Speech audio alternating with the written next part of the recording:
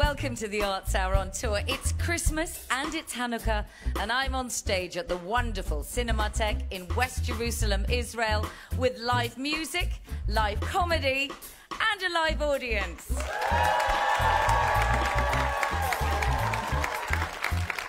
And the music you're hearing is Israeli hip hop funk band Hadag Nahash. More from them later.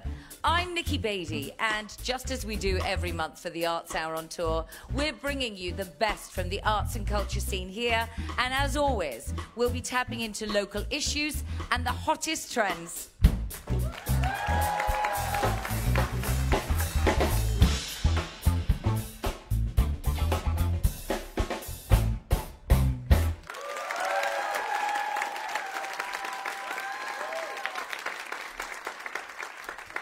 Jerusalem's one of the oldest cities in the world. Its name resonates in the hearts of Christians, Jews, and Muslims alike, who all have centuries of shared history here.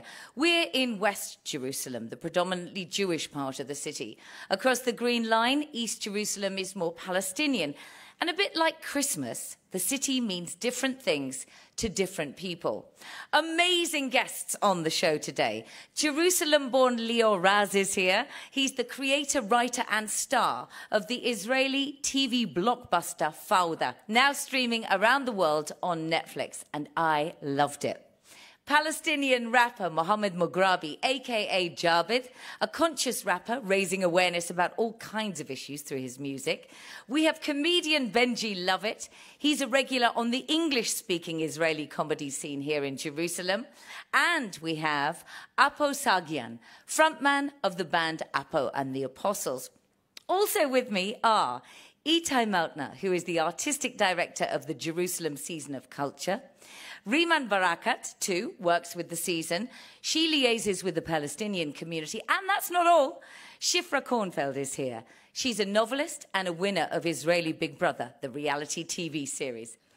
Now, a question for all of you first. This is only the fifth time in 111 years that Hanukkah and Christmas have coincided. And December marks the birthday of the Prophet Muhammad, peace be upon him, but also significant that the Prophet Isa, that's Jesus, is there for Muslims, as is the whole Nativity. We've also just had winter solstice. So, what does this time of the year mean to you? Itai, I'm going to come to you first. Well, I think we should celebrate all the customs and religions that you talked about. But for me personally, the most brilliant and most touching thing for us to celebrate is now, the present. Us sitting together, people from all over Jerusalem, connected in one space together. So I think we should raise a toast for that. Thank you. Apo, you're from the Armenian quarter here in Jerusalem. What happens there? At this time of the year, we usually, the community comes together. A lot of emphasis on the family, and there's a lot of drinking going on there. A lot and, of drinking? Yeah, because we celebrate Christmas three times a year in Jerusalem. What? as Jerusalem, as the Armenians in Jerusalem are, are the only Armenians that celebrate Christmas on January the 18th. So until then, we do December 25th with the Christians. Yeah. January 6th with the Orthodox, and in Armenia, which they do as well, and then January 18th. Fantastic. Yeah. Shifra, you were raised in an ultra Orthodox Jewish family in the old city of Jerusalem. What happens there?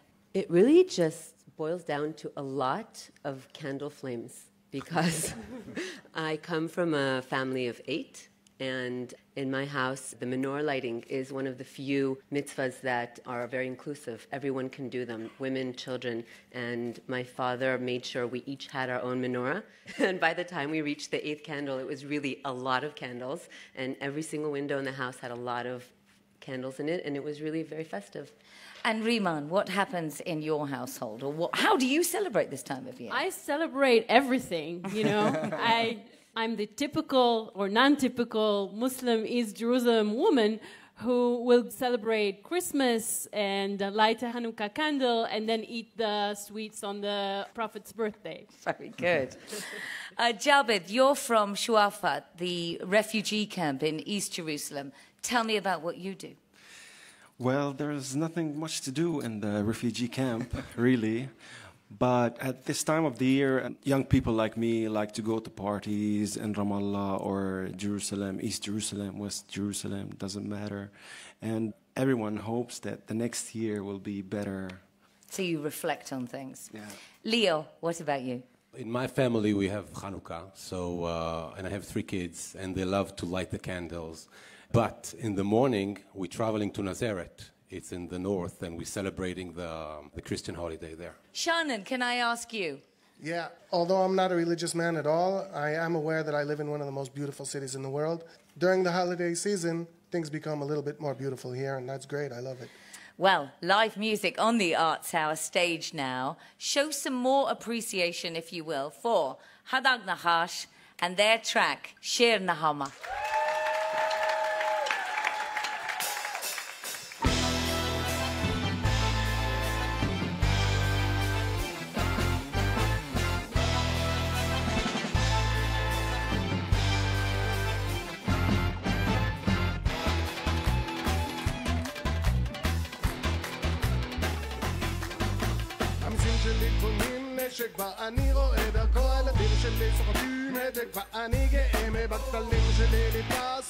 שלא אפול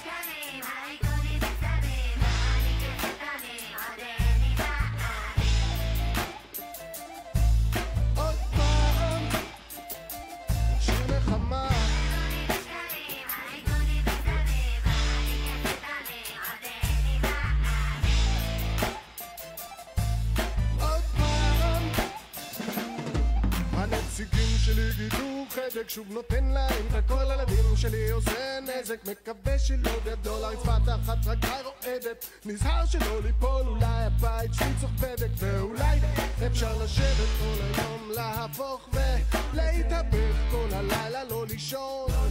וואחד סרט לאכול אבל אין שום היגיון יותר עדיף שלא כי אז מה עושים? מתנחמים, מסירים מכסים, מסירים, מסירים מוסר מסרים, מסירים מסרים משירים, ושרים שיהיה טוב, שרים כדי לא לראות, שרים כדי לא לראות שאין על מה שרים עוד שיר נחמה.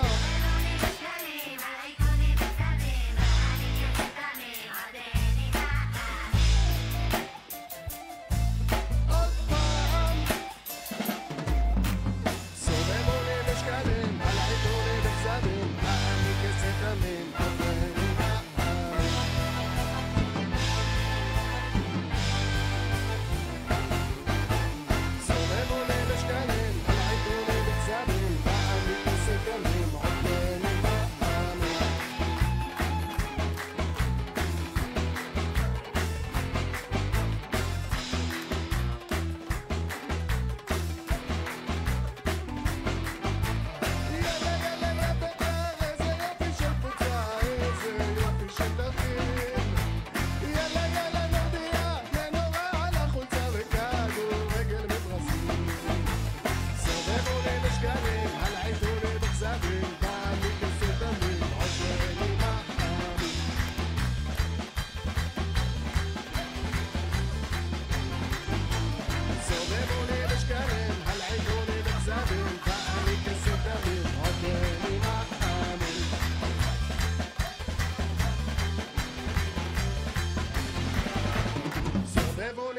עולה בשקלים, הלעיד עולה בכזבים, ואני כסף דמים, עוד בנימה חמים.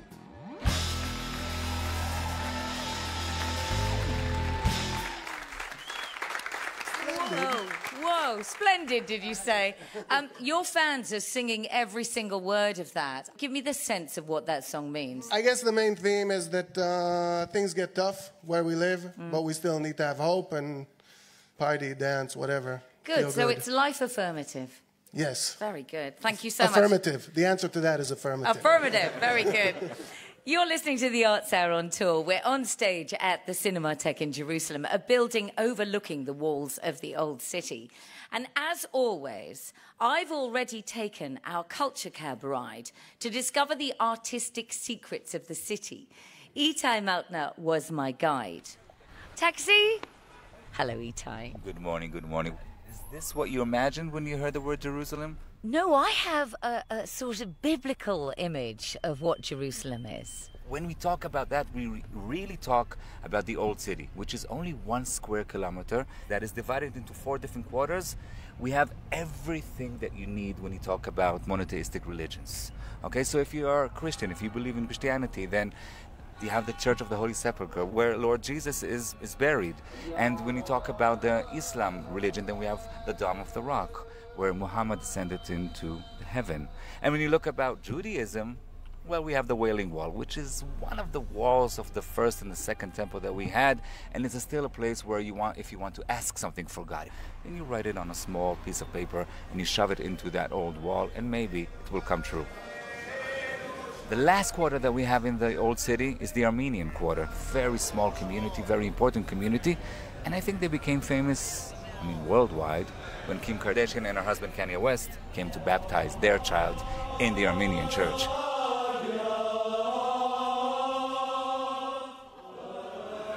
So, where are you taking me now? I can't tell you it's a secret, but we are moving from the eastern part of Jerusalem to the western part of Jerusalem. It's going to be a beautiful ride. Check out on your left hand side right now. This was one of the places that the International Palestinian Art Biennale took place. It took place in Jerusalem, in Jericho, in Kalandia, and many, many other places. So, what kind of artists were actually exhibiting at the Biennale? Well, there were local artists and also international artists. It was curated by a very important curator from Australia, and it was a very, very big uh, success. And it was the beginning, it was the starting steps of this beautiful and very important Palestinian art scene that is going on in Jerusalem and around it.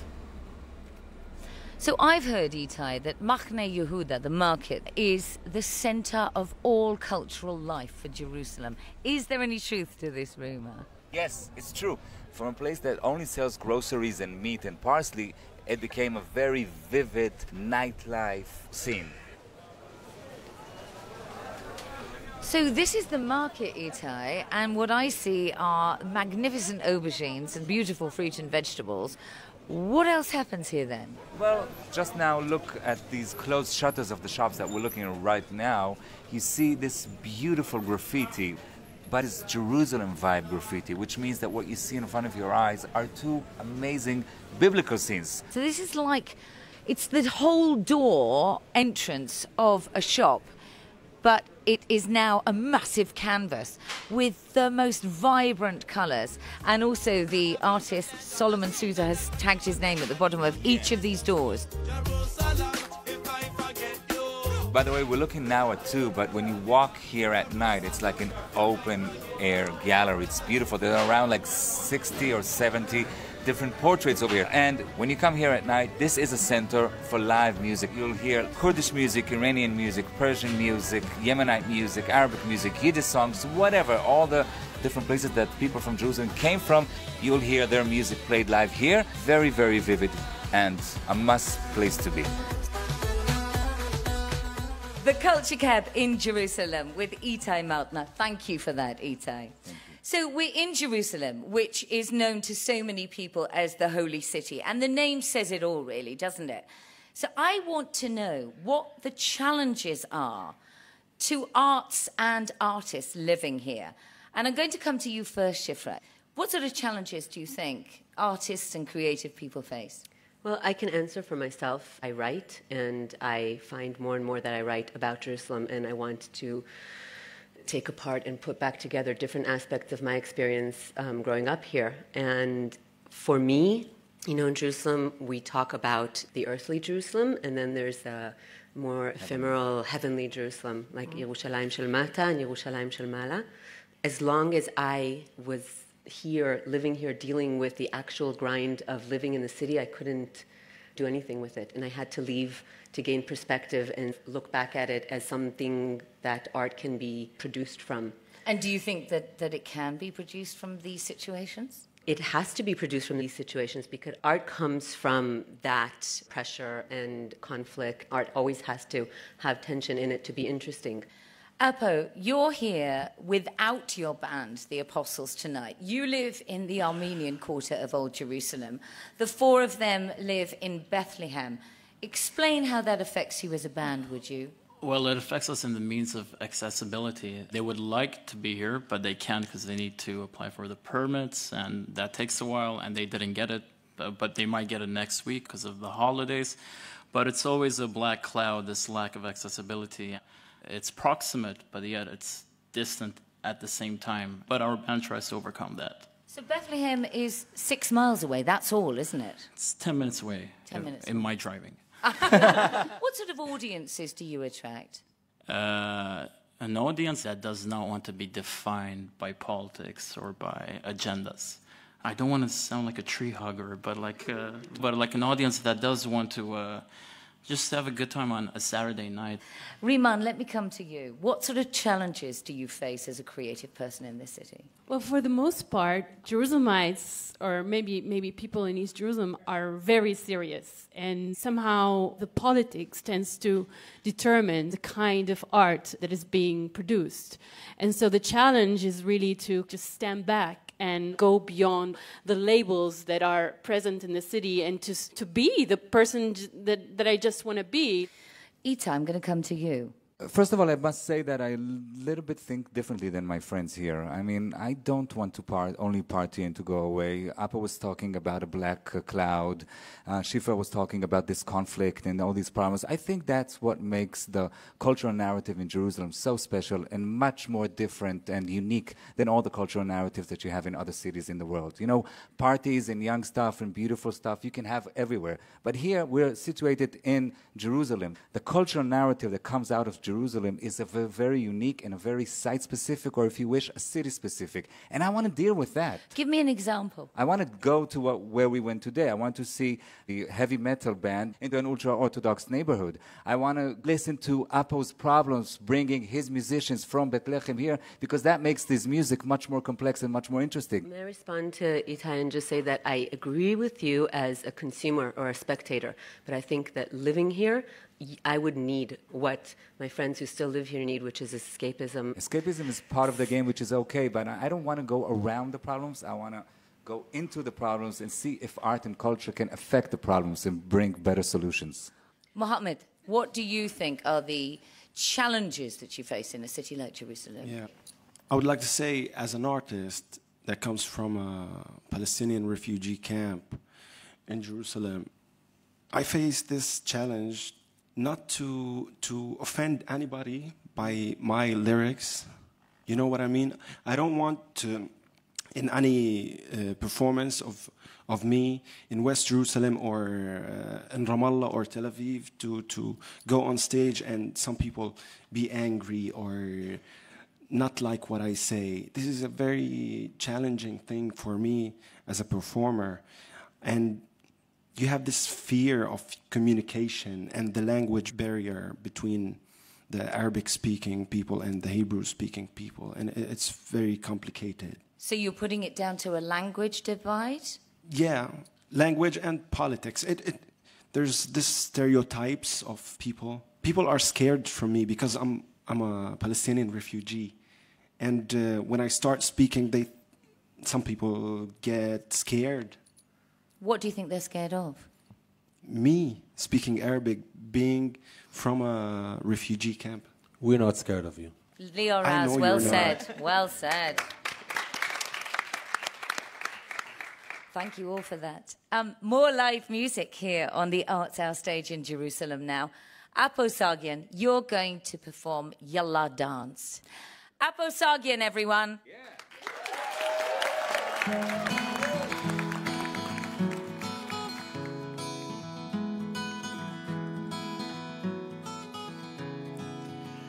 There's a ruin in my country, a bloodbath on the way, a midnight that is coming to sigh the end of days. I wanna go back there to my love, wherever she may sleep. Find with whom she's warmed up to, and steal her back to me. Remind her of our days, the golden plans we made how easy they broke down. The moment when we left. Yella, baby, don't say maybe. Yella, baby, dance under the Zaytun tree. Yella, baby, dance, don't say maybe. Yella, baby, dance under the Zaytun tree. If my skinny bones can't stand the weight of our lost chance, I'll carry you silence and gaze to distant lands where I'll reach down my hands, build a home we never had. Just wait for the fire to pass and leave us in a sea of ash. I'll gather wood for you've lost the warmth I gave. You moved on and left it behind where it burns in an empty space. Yella, baby, dance, don't say maybe. Yella, baby, dance under Zaytun tree. Yella, baby, dance, don't say maybe. Zaytun tree. Yella.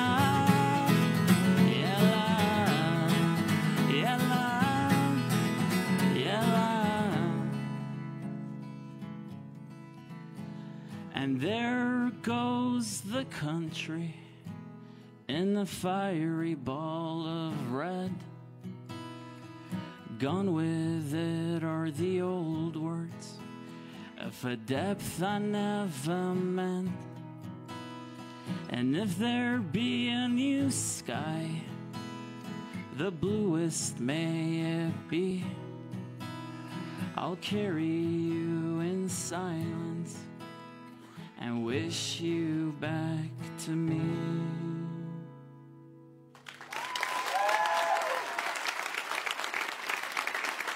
Apo Sahagian, everyone. And Yalla Dance. Don't go away, there's lots more to come, and the Arts Hour on tour in Jerusalem is back after this. This is the BBC World Service. Before the news, a quick word from the Newsday team. If you've not listened before, we talk to people right round the world. It's proactive in the sense that we're looking forward. And we just try to explain what's going on in a way that I think's easily accessible. You hear the presenters, but also behind the scenes, Newsday is made up of an international team of journalists. And it means that we can, in a single half hour, be live in Istanbul, live in Harare, live in Johannesburg. We try to ask all the questions that listeners want answers to. You get that opportunity to question people in power. Newsday is different because it not only hears from the big names making the news, it also gives voice to those affected by the news. You get to speak to really interesting people and they have such good stories to tell. Because there is simply a human interest in what's going on around the world that we can't stop talking about. Join us for Newsday, weekdays at 3, 6, and 8 GMT. Still to come on the Arts Hour on tour in Jerusalem with me, Nikki Beatty, Palestinian rapper Mohammed Mughrabi performs for us, and the man of the moment, Lior Raz, creator and star of the biggest Israeli TV show ever, Fauda, is here too. There was someone that uh, took Fauda and they showed it to 20 uh, Arab guys. In the beginning, they thought that it's an, a Palestinian show. They didn't understood that it's an Israeli show. All that and more coming up on the Arts Hour stage here in Jerusalem. BBC News with David Austin. President Putin has ordered an inquiry into the Russian military plane crash into the Black Sea. The crash happened shortly after the aircraft took off from Sochi on its way to Syria. None of the more than 90 people on board survived. A day of mourning has been declared on Monday. In his traditional Christmas Day address at the Vatican, Pope Francis has called for new efforts to bring peace between Israelis and Palestinians. And the leader of the world's Anglicans, the Archbishop of Canterbury, urged people to look to God to chase away the fear of terror. The Israeli leader Benjamin Netanyahu has ordered his foreign ministry to summon and reprimand the ambassadors from countries on the UN Security Council. Mr. Netanyahu is furious that the UN voted on Friday to condemn Israel's building of Jewish settlements in the occupied West Bank and East Jerusalem. There's been a powerful earthquake off the coast of Chile. The U.S. Geological Survey said the quake had a magnitude of 7.7 and that the epicenter was 200 kilometers southwest of the city of Puerto Montt. A tsunami warning has been issued for the region. There are no details so far of damage or casualties. A powerful typhoon, Nock-ten, also known as Nina, is lashing the Philippines with sustained wind speeds of up to 235 kilometers per hour. There are fears that the typhoon could hit the country's most densely populated areas, including the capital, Manila. France has confirmed that a French aid worker has been kidnapped in northern Mali. The French Foreign Ministry said Sophie Petronin was abducted in the northern town of Gao. It said she ran an organization that helps children suffering from malnutrition. And Queen Elizabeth has praised the achievements of Commonwealth athletes at the Rio Olympic and Paralympic Games. Apart from Britain, she highlighted Grenada, the Bahamas, Jamaica, and New Zealand. And that's the latest BBC News.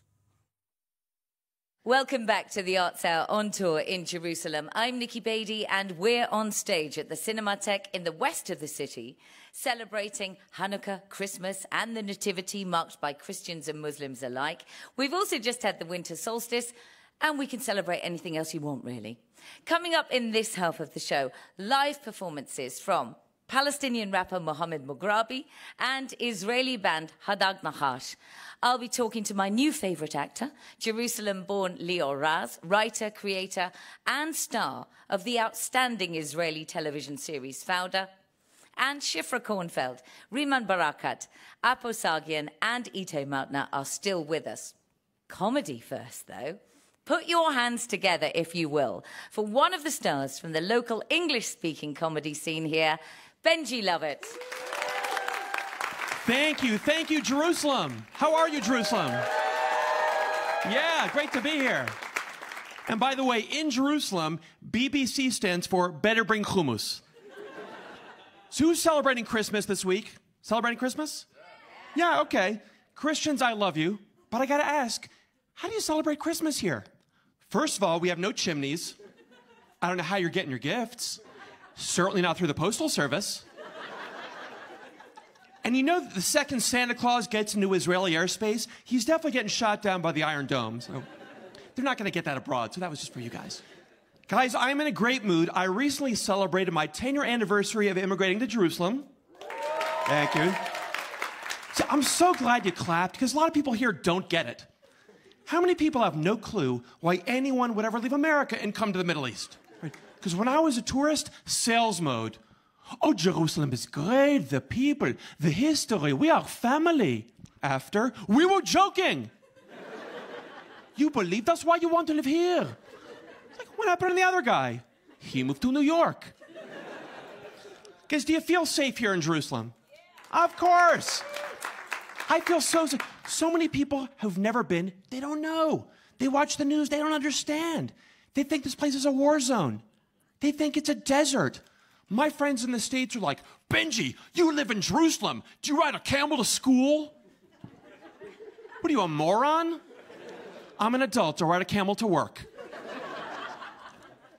I'm not going to Jerusalem. It's dangerous. Yeah, but you go to the mall on Black Friday, so uh, it's just an Xbox. Calm down. Well, we love it here. We do, the home to three religions. If you've never been, you have to come. I mean, clearly you got to go to the old city. Of course, you got to go to museums. But Nikki, you discovered this yourself. If there's one place you got to go to really understand the Middle Eastern mentality, it has got to be the open air market, Shuk Machane Yehuda. Or as I call it, dirty Walmart. How do you explain the Shuk to someone who's never been? there's everything. The most amazing sights and smells and foods, but a little bit different service from what you might be used to in the West. I would love to see a job interview with someone who works at the Shuk. Okay, your resume is excellent. Can you scream for 10 hours a day? Okay, can you dangle your cigarette over the food? Is that going to be a problem? You're going to need a little more chest hair coming out of your shirt if that's possible. How much enthusiasm can you have about produce? Agvanyot, tomatoes, 10 shekel, agvanyot. Dude, your tomatoes are the same as his. Uh, you have to buy agvanyot. I have to feed my family. Feed him agvanyot. Guys, thank you so much. Jerusalem, you were a blast.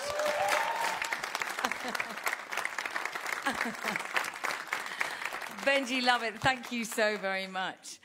More live performance now on the Arts Hour as we welcome Mohammed Mughrabi, aka Jabid.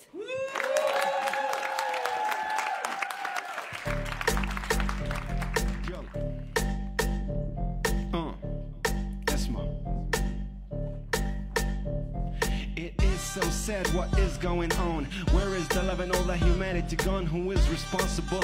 I don't care. I just want to feel secure here and there. Palestine is on my mind all the time. Israel too is on my mind all the time. Who is right? Who is wrong? I don't want to get into this. And the truth is that people can live together no matter where, no matter who, no matter how. First of all, we need to get rid of the control of the minds of the people and destroy all the walls. You have to face it, cause nobody was born racist. The fact is that our ideology raised it, and all of us are victims of the system. Think what you can get and what you got. Trust me, I don't create another.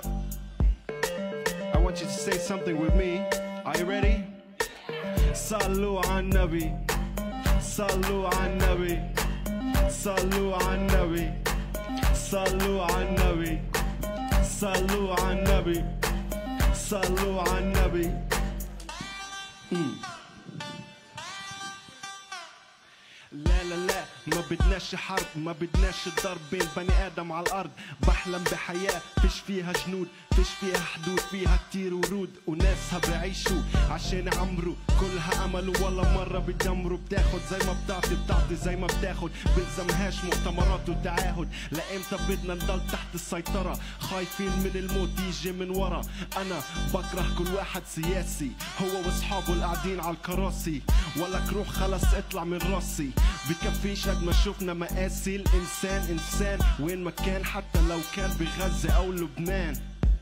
We gotta do it once again. صلوا على النبي. آه. يلا. صلوا على النبي. صلوا على النبي. صلوا على النبي. صلوا على النبي. صلوا على النبي. صلوا على النبي. uh. Oh yeah, right. I'm a Palestinian refugee, and that's why I got my energy. I'ma do it right, no, don't do it wrong. I'm going to start my peace right here. I'll send my love everywhere. Join the air, no, no more fear, no. No matter what happens, just keep smiling. Believe in love and love everything. Come on, work it. Let me see you work it. Clap your hands in the air and sing it. Celebrate and start peace right here. No matter where, cause peace starts here. Deep inside me, I'm feeling it. When I look in your eyes, I can see it. So come and do it, it's easy to get it. Yalla, bring it, make it, spread it everywhere. Come on, mother, once again, Salu al Nabi. Are you ready? Yo, uh, Salu al Nabi. Salu al Nabi. Salu al Nabi. Salu al Nabi. Yo, thank you.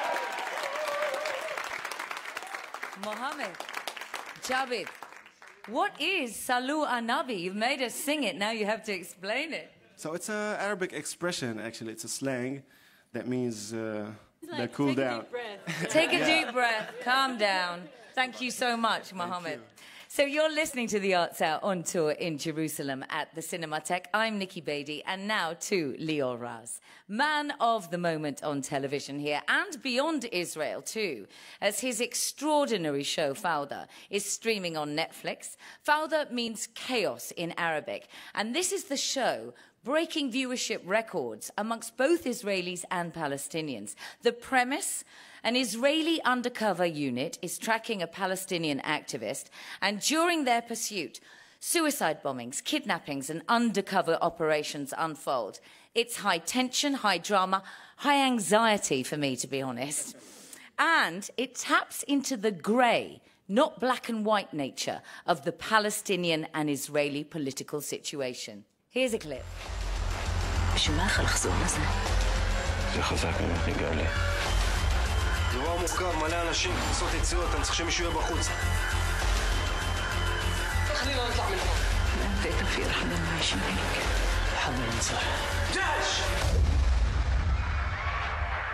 Lior Raz stars as Doron, the commander of an undercover Israeli unit. Lior, how closely does the role of Doron relate to your own experiences? Because you were in the special forces, weren't you? Yeah, I used to be in the special forces when I was in the army. And, um, you know, eight years ago, I went to the psychologist for the first time in my life because I was getting married, so I was scared. And, and I asked him if we can sit the opposite way because I want to sit that I can see the door in front of me. And he said, okay, listen, let's talk about your other problem now. and he said that I have PTSD. It's post-traumatic disorder. And I think 75% of Israelis and Arabs and Jews have it. If, when you are in a war zone, you have it. And I really wanted to talk about this issue in this TV show. Doron have it. Doron don't know it and is not recognize it. And Mm. uh, just I didn't till I was writing this show. So you had PTSD in common with this character, various other. Are you happily married now? Then is Yeah, it all yeah, going yeah, well? Sure, sure, Good. sure. yeah. Good. I have three kids and uh, Excellent. Good to know. Oh, that gets Yeah. a round of applause. In- My wife knows me better now because of this show. So Really? Yeah, yeah, yeah. yeah. She's got insights into your deepest Yeah, yeah. psychology. Wow. In the show, the unit are disguised as Palestinians. They speak Arabic, they practice Arabic customs, they live in Palestinian communities. They blend in so that they can kill or catch anyone they suspect. The dialogue is 75% Arabic. How long did it take you to learn all that? Uh, first of all, uh, actually, this kind of units, um, people don't know it, but the Israeli army made them because they, they didn't want to have a lot of casualties. It's just a little tiny uh, few people going into a place, take prisoner, one prisoner, one terrorist out of it, instead of bombing, uh, I don't know, a house or something. So it's, it's very important for me to say that. And Arabic. My father is from Iraq. Ah. Yeah. My mother from Algeria. And my father called himself Arab Jew Okay. because they born there, they, they lived there, and they, we, we, they were speaking Arabic at home. We were speaking Arabic at home. I was listening to Arabic at home. Well, you know, when you're doing the ablutions uh, in the mosque, so you're Mm. washing behind your ears and that whole beautiful ceremony, all the cast had to learn these sort of rituals, I Yeah. suppose, did they? Yeah, yeah, yeah. I, I, I used to learn for uh, six months before we were shooting. I went every day to, uh, to Jaffa. And I, I learned Arabic with uh, an amazing uh, Arab guy. And uh, it was with a specific dialect from Ramallah. And it's very different from the north. So I had to practice it. Uh, my wife hated me that time of year because uh, in the radio there was just radio, Arab radio, Radio Al Quds, Radio Ramallah, Radio. Uh, it was amazing because now, you know, Israeli uh, Palestinians that lives in Israel, they know Hebrew. You know Hebrew very good, right? Mohammed? Yeah, you can speak fluent Hebrew. But if I ask those people here, nobody knows Arabic, the Jews. Shwaye, shwaye, it's because you go to the market, so you say shwaye. What does shwaye mean? It's uh, a little. No, but, but it's a big problem, in my opinion. And now, because of this show, people starting to learn Arabic because it's became very sexy. So yeah, and it's amazing. No, no, it's amazing. And the series depicts the two sides of the story. So we see Doron hunting down Hamas activist Abu Ahmed, also known as the Panther, but we also see the tragic life and the family life of Abu Ahmed. And I wonder whether you're using your art, television, to talk about the stuff it's otherwise too hard to talk about. Sure, sure. I think uh, for us, for all the writers, it was quite a healing process. And we talked about things that nobody talks. And, you, and when, we show, when we're showing the bad guys, or even the bad guys have families and have life and have kids, and they love their kids as well as we do. And we wanted to show it, and we want to show the people that not everything is black and white, that even the black, it's a little bit gray, and the white is a little bit uh, black. And I think we did good because I know I'm getting emails from all over the world now, from the Arab world and from the, from the Israel and from the West uh, world. You think Fauda pushes both sides to ask questions and view the other more closely? Sure. And uh, um, I'll tell you, there was someone that uh, took Fauda and they showed it in Ramallah to 20 uh, guys, uh, Arab guys. And the, in the beginning, they thought that it's an, a Palestinian show.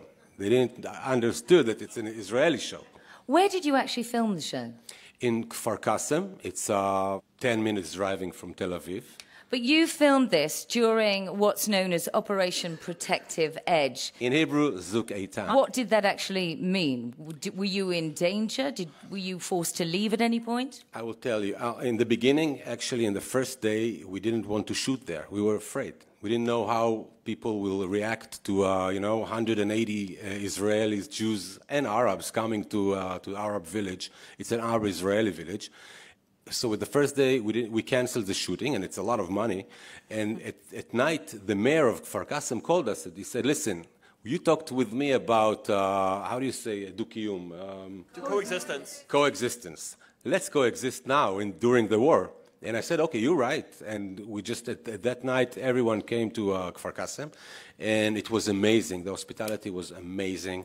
And it was quite crazy because there's missiles going down on us, Arab and Jews together. You know, the missile don't know if you are Arab or Jew, uh, Muslim or Jew. And um, we were all together getting to the shelters. There were no shelters, but uh, holes in the ground. We the, and it, we were in just kind of a bubble, creative bubble. Uh, of Arabs and Jews working together during the war. It was amazing. It was, uh, I was just like in a dream for a month and a half. The response has been amazing. Has there been any controversy at all? No, no. Well, that's extraordinary. I'm sorry. Yeah. Don't be. I think I this know. is, you know, this is what we're talking about today. Now, we're in Jerusalem, Lior, and you were born here. How do you think it's influenced your creativity? Jerusalem, it's, um, it's a city of walls. And to be creative, I think you have to have walls surrounding you. Because you have to, to shout, you have to fight, you have to do some stuff. And it was, it's very hard. It's, it's, it's amazing city, but everything here, it's very extreme. The people, everything is very extreme. To, everything. And I think to be, to live here, you feel, you smell, the creativity coming, come to you from all of, from everywhere. Lior Raz, thank you so much. Thank May you. And may series two of Fauda be even better. And in the meantime, for all of you listening, you can catch season one on Netflix. Fauda is a great example of the culture of collaboration happening in Israel. So I want to know what else is going on that's really working in the arts in terms of perhaps a culture of collaboration. Apo, can I come to you first? Uh, I don't specifically know if there is an actual collaboration going on across the divide, but I do think that people are starting to realize that you can't really escape the proximity. And I think people are starting to check out what the other side is doing, and I think that's very important. So something's moving. Itai. I wanted to connect to what Apo is uh, talking about because last season that we had in the Jerusalem season of culture, we had these journeys into the city which are which were called dissolving boundaries. Lior was speaking very beautifully about the walls that we have here, and yeah, we got a lot of walls here, physical but also mental walls that we put into our minds when we label somebody as Palestinian, as religious, as non-religious, as Tel Avivian, as Jerusalem, whatever. So how is that happening? Give me an example. Well, what we did last year were journeys that people signed up for a five-hour journey into the city. They did not know where they were going. They only knew that it could be only in the light rail or by walking or by a bus. And then they crossed the city from east to west. They went to Shuafat and they went to the other neighborhoods and they met religious people and non-religious people, most of them actors or artists or activists or social entrepreneurs and Riman was one of them, of course. And then suddenly you understand that the image of what a Palestinian is or what an Israeli is is a total different image when you meet them in their houses, in their studios, in their places. So that's a trend that's going on, I hope. Riman, I'm going to come to you. Yeah, Actually, as uh, Muhammad was uh, performing, I had an insight, and also like I remembered why have I uh, started working and creating uh, collaborations with with Israelis, and the context in which, uh, for example, Muhammad comes from, and the context in which, for me, uh, as I grew up, uh, being separated from people from in, West Jerusalem, but also a couple couple of years ago with uh, the the separation I felt in the city, it hurt so much that I really sought to uh, seek a, a, relationship with the other side. And I think that's kind of like what, what, what the, the, trend I'm seeing, that it really hurts so much that this, this fear, this, uh, this anger uh, is, is not making us sort of at ease with ourselves to the extent that we must do something about it and go beyond, find a way to go beyond the current situation. Shifra. When Lior says that um, Jerusalem is a city of walls, um, I grew up within the old city of Jerusalem. I grew up in the Jewish quarter, and Apo and I lived on the same street. And we are meeting tonight for the first time on this stage. Wow. And this brings me to think about um, the secret walls and the secret boundaries, which are so much harder to cross because obvious walls, you can run up against them, you can try and cross them in many ways because they're there for you to see and fight against. And then the secret walls, and Jerusalem is full of them. You walk down the street and then you don't notice, and you're in a completely diff- different neighborhood. And through the Jerusalem season of culture, I have found every year a new encounter that I would never have thought of myself a couple years ago, I found myself spending four days in a row in the house of a woman um, who's my age. We could have, should have known and met in many different ways, but she's ultra Orthodox, and I left that world, and I would never think of going back to visit her. And this is a completely invisible wall. This isn't a wall I have to ask anyone for permission to cross. I'm not breaking any rules, and yet I would have never gone there without this vessel Groups are hard to change, but individuals can cross lines all the time, and maybe that's what's happening secretly in Jerusalem.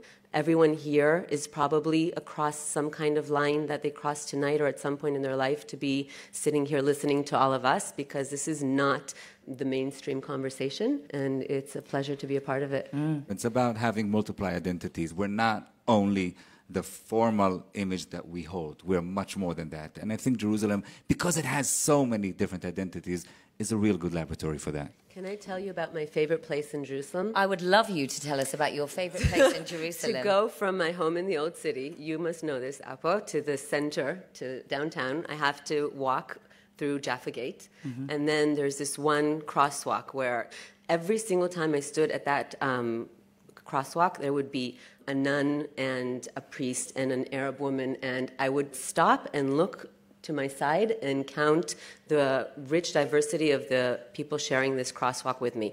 And then we'd continue to different parts of the city, but it was this one split second where it was always like a complete array of the city's different identities. Could I, could I? Yes, Apo, and I wanted. I also wanted to ask you. You go ahead first, and then I'll ask right. you a question. I agree with a lot of things that were said here, but I do think that uh, the city lacks platforms where that identities can actually meet, like an accessible platform. And I don't want to do a PR thing here, but in our band, we do no, no, but we do make sure that our that our band and our activities and our platform is accessible, even if it's a linguistic accessibility. We do most things in English because we do recognize that uh, one side of the city will not speak the other side of the city, but then they can all come together when it's in English. Okay. And uh, th- there are a lot of identities, and the potential is vast.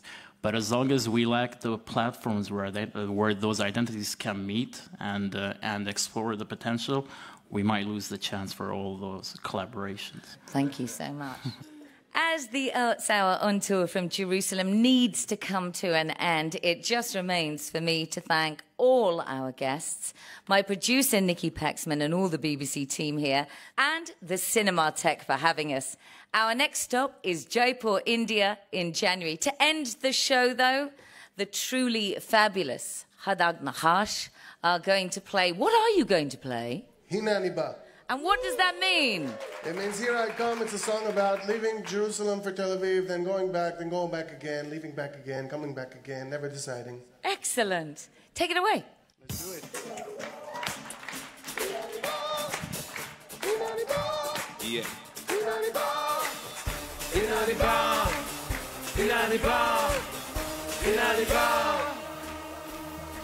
ירושלים, עיר שבה פיצוץ, מרגיש כמו קיבוץ, גלויות, אלף תרבויות, לכל אחד יש שעה, ערבים, חרדים, וכולם פה קודמים את אלוהים, את ירושלים דעכה מהר, יום ליום תל אביב לתצטער, חברים עזבו, התקרבו לבור השמיים, בור משעמם, אין ים, מה עכשיו אתה לעזיבה?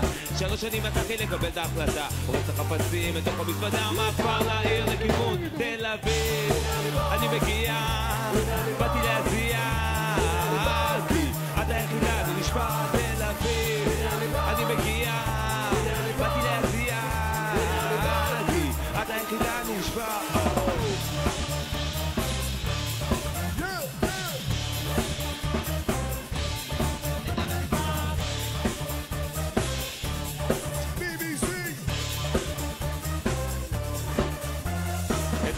מישור החוף איזה שוק אני עומד לחלוף ועכשיו שאני בתל אביב סוף סוף שתי לוי מה לא מכות הרי בזה טוב. אוי כמה שדיים נפתחו לי העיניים. אחרי שנתיים של טובה מורה לא מזהה את עצמי במראה של הדיסקוטקים, עכשיו שאני אין מבין זה לא נוצץ רעש שפיע דשא כל היום מתבזבז על שלום. השכירות הון הלכות בשיגעון ואז נפל האסימון. כאן עדן היה לי בידיים. מה עכשיו אתה לסביבה שלוש שנים מתחיל לקבל את ההחלטה הורס את החטאים לתוך המזוודה מהעיר לכפר לכיוון ירושלים. חוזר אליי אל חומותיי כי את היחידה אני נשבע ירושלים. חוזר אליי אל חומותיי כי את היחידה אני נשבע. חזרתי לירושלים, פה החומוס טוב, זה בדוק. תן לי רוגע, תן לי שקט, לא יזיק איזה פיוק. מתי פעם אחרונה שמתי איזה פתק בכותל, השקעתי באוכל, עשיתי חברים חדשים. העיר הזאת תחזיר לי את השליטה בחיים, להתערבב עם עצמי במקום לערבב מים, לנשום קצת אוויר הרים תלוי כיין. יאללה בית"ר, זה לחיים בכפר, העיקר להיות מאושר. הנה אני בא, הנה אני בא. הנה אני בא, הנה אני בא, Il arrive, il arrive, il arrive. Te.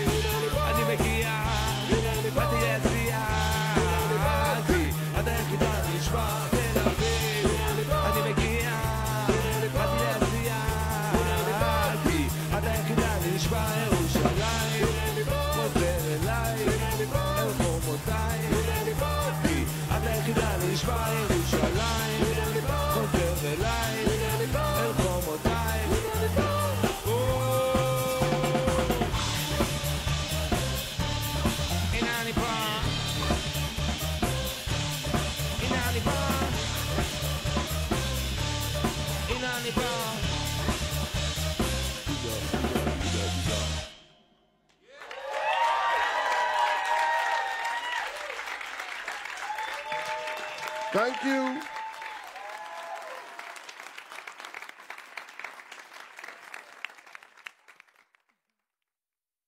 You're with the BBC World Service, where every year we try to predict the future. 2016 it was a year that will live long in the memory. And as these 12 months draw to a close, we bring together some of the BBC's top correspondents for our annual look ahead. Join me, Owen Bennett Jones, as we predict who and what will be making the headlines in 2017. Correspondents look ahead, Friday at 9 and 23 GMT.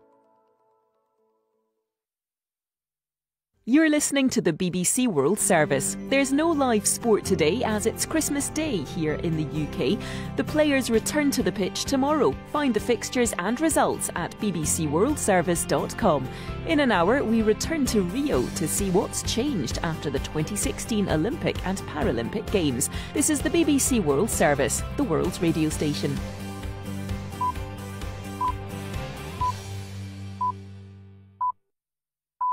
Hello and welcome. This is the History Hour with me, Max Pearson. The past brought to life by those who were there.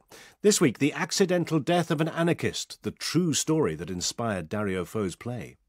The Christmas presents were open and on the floor. Claudia ran right in and wanted to chat to them, but my mum stopped her, saying, No, they are policemen. That was when my mother told us Daddy had been stopped, but that he would be home soon. but we never saw him again. Also, we've got the commander of the first American mission to go round the moon. And we remember two towering figures from the world of art the film director Derek Jarman. He would say, I know nothing about acting. I'm not sure what I know about films. Of course, you see, he had such an engaging personality. It was just wonderful to meet a real rebel. And the Irish writer Samuel Beckett. Beckett was one of the few people I've ever met who just really knew that as long as he was alive, his purpose was to write. First, we'll have a bulletin of today's world news. Hello, this is David Austin with the BBC News. A major search and recovery operation is underway in the Black Sea after a Russian military plane crash in which all 92 people on board are presumed dead. The Russian authorities have deployed over 30 vessels as well as divers and helicopter teams to locate the wreckage of the plane.